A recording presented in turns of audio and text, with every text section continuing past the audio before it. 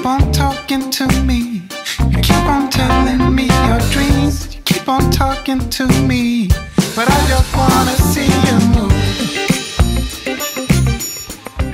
pretty people. It's Crystal, your very own personal beauty pro, and this is another episode of On That Note, where we actually explore the power of fragrance in helping us be pretty. Thank you for your lovely responses on the very first episode of On That Note, and in that one, I shared my dramatic experience with Parfums de Marly, and we ended on a cliffhanger how in the world I went from not getting any fragrances to ending up with all three of the Delina collection. Today we're gonna have some fun sharing how that happened. When last we saw Crystal, she was in distress. My initial reaction to the fragrances was that I didn't quite see myself wanting any of them. After going back and doing some research, I found a YouTuber, a fabulous girl named Navadine, who had a similar take on Delina. In her video, she did seem to like Delina Exclusive, and that was one I hadn't yet tried. Now, I didn't exactly have high hopes at this point because if I wasn't crazy about the original, I'm figuring how much different could the exclusive be. But in her video, she dropped a gem. She shared a fragrance that she felt was very similar to Delina Exclusive at a much prettier price point, and that was Nina Ricci Rose Extase. So here is the gorgeous bottle. This glass bottle is divine. It is weighted as is the cap. The style of the bottle is just so gorgeous. And I'm going to do a separate video on the Nina Ricci fragrances that I have acquired and what I think about them. Extase means ecstasy in French. So this is called Rose Extase and it's from the Extase collection. Instead of reading you the notes first, first I'll tell you what I thought of the fragrance and then I'll share with you what they say is in it. The mist is beautiful. It's this big wide, fluffy mist. I can smell it without even bringing it to my nose. As soon as I sprayed this in the air, I thought, yes, I'm going to love Delina Exclusive if this is what it smelled like because I instantly love this. And I was thinking this is what I thought Delina would be like from the description. What I get is this smells like a delicious spicy lemonade. That was my initial impression. That's the sweetness that I was hoping for in Delina. So there's a sweetness, but there's a peppery spiciness to it. It's a rose, but the rose is so beautiful. It's like this deep, sensual, dark pink rose like someone took a rose and dipped it into this hot and spicy lemonade. I was so glad it still had that tart tangy aspect of the rhubarb that's in Delina because I actually like that note whereas some people don't. And the Rose Extase does not have a rhubarb note so I was wondering if I would still get that tangy zesty aspect to it. So the tangy zesty aspect is there with the rose and the sweetness. In the top notes, there's red berries. The middle says there's rose and raspberry. And then in the base notes, there's vanilla, musk, and amber wood. And they just all blend to be this woody, sensual, rose with a hint of sweetness. This is one of the most unique fragrances I had tried at that point. I can't quite remember the sillage or the projection because it's been a few months since I've really worn this so I need to wear this and get some more details for you on the wear and the longevity. When I discovered I love this and I was told that it has the DNA of Delina Exclusive I was excited and I decided to try the Delina exclusive. But I said, before I do any more blind buying, let me just go to the local posh department store and smell Delina exclusive for myself. At this particular one, they were just getting in their Parfums de Marly display and there was only one pink Delina bottle and for some reason there was no box, there was nothing and I don't know why I didn't just pull it up online and I didn't recall that Delina Exclusive is actually written on the bottle. So the new sales associate and I were trying to figure out which Delina this was. But in the meantime, he sprayed a little bit on a sample card. We discovered it was the regular Delina and I still wasn't able to smell the exclusive. But when I got in my car, that sample card wafted throughout the entire car. I was reminded of the exquisite quality of that Delina, even though I had initially said I would never buy that. I decided to take the plunge and blind buy the Delina exclusive. So the pretty girl arrives in her beautiful light pink bottle with the lovely tassel she's wearing as a scarf. And one little thing some people don't note is the beautiful pink diamond on the cap. And I'm calling it a diamond because at this tier of fragrances, it should be a real diamond. And my first thought was, this is it. The Delina exclusive is gorgeous. It is very unique, especially if you come from loving uh, a more simple floral or a simplified fruity floral, then this will smell very different and very unique. It still has that depth, that very deep, rich herbal quality that the original Delina has, but it also has a more sweetness more of like a powdered sugared incense. Now I do agree that the Nina Ricci Rose Extase puts you in the mind of this, but they are still very different. The Nina Ricci has a much more zesty, zingy, tangy quality and there's a peppery quality in it too that's also more pronounced. Delina Exclusive has a much richer deeper quality to it. The sillage, the longevity, the projection, the wear are heavenly.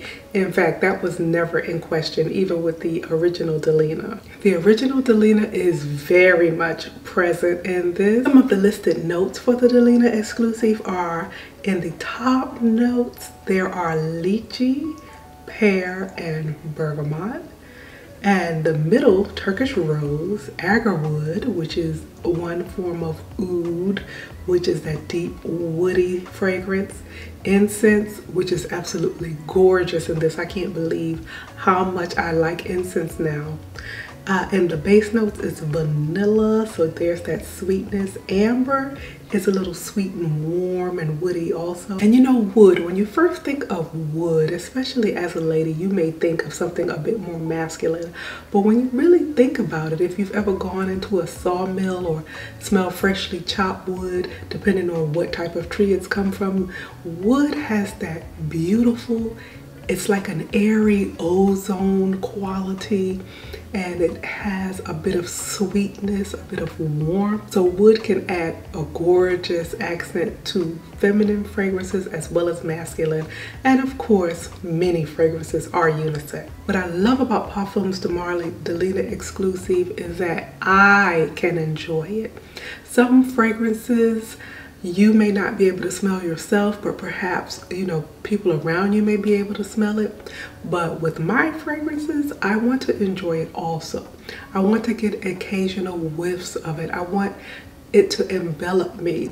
I don't want it to choke me out, but I do want it to embrace me. This fragrance does just this. It's the gift that keeps on giving all day until you remove it and then if it's on clothing or bedding then you can expect to smell it for a while. You have to be ready to make a commitment when you wear it. So at this point in my Parfums de Marly experience, I am so elated because I finally found a fragrance that I genuinely love and wasn't just getting for the sake of following the crowd. But there's more to the story. Remember when I said when I went and thought I was going to test the exclusive, the gentleman ended up spraying uh, the original Delina on the sample card and the fragrance wafted throughout my entire car and lasted forever. Well, I just could not shake it. So I came home and I smelled my Delina sample again. And I thought to myself, you know,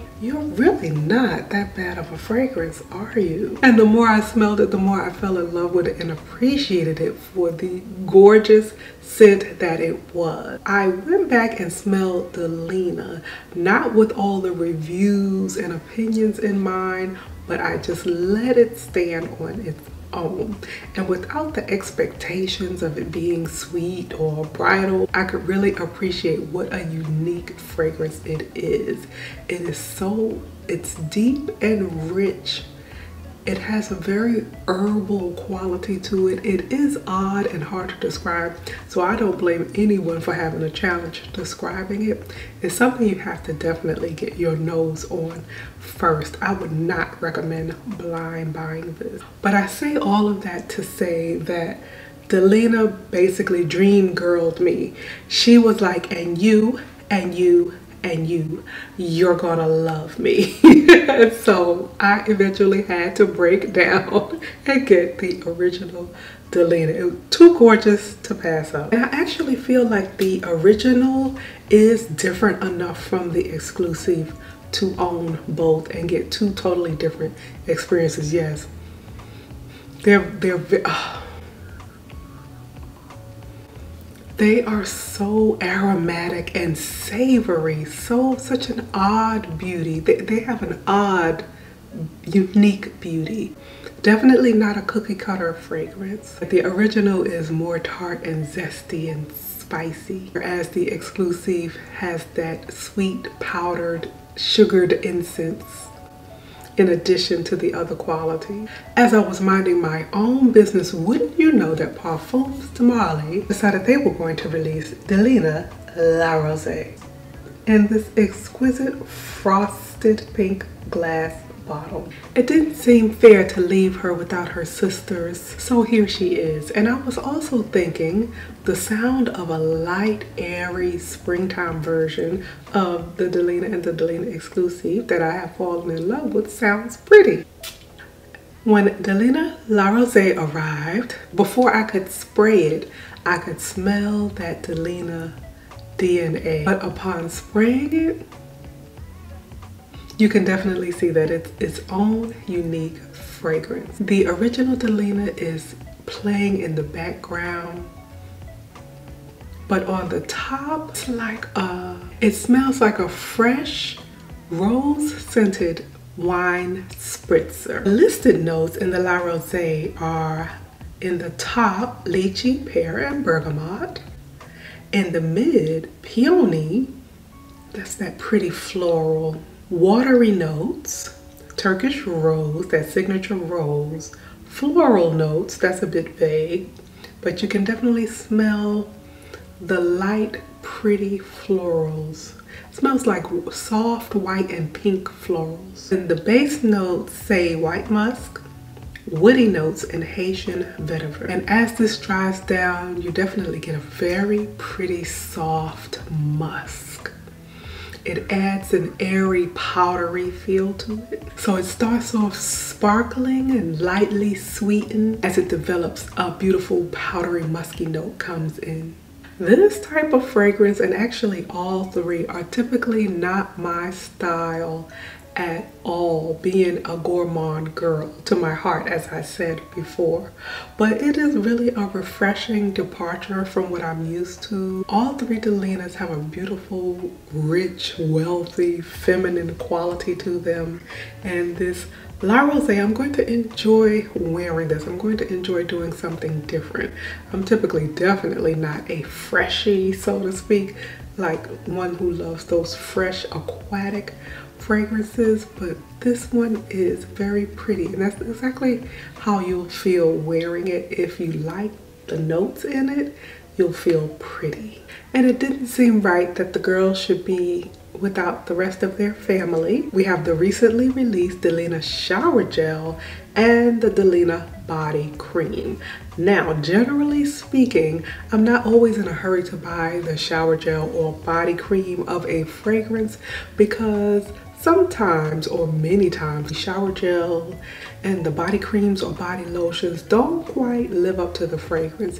Either they don't have the potency of the fragrance or the quality of the product like perhaps the shower gel is not as thick and rich as I would like it to be or the body cream or lotion may not be as nourishing and moisturizing as I like it to be. So sometimes I'm hesitant. Parfums de Marly quality showed up in the accessories as well as in the fragrance. So that is the rest of the story on how I got to know the Delina girl. I am looking forward to sharing more fragrance content with you in the future. And of course, we will do our usual beauty. But on that note, I'll see you next time. You keep on talking to me. You keep on telling me your dreams. You keep on talking, but I just wanna see you move. Just wanna see you move.